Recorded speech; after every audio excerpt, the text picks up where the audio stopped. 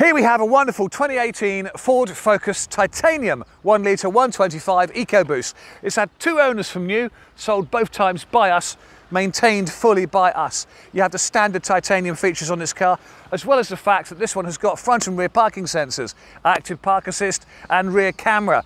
It also has, look at these, wonderful door edge protectors on all four doors, really neat.